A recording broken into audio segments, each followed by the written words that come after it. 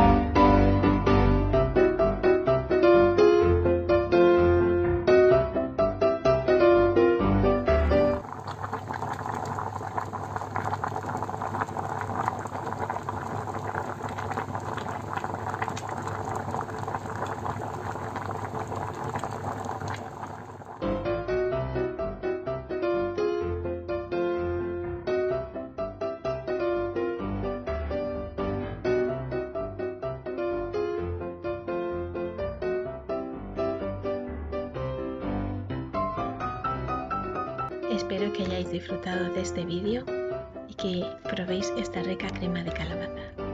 Hasta el próximo vídeo.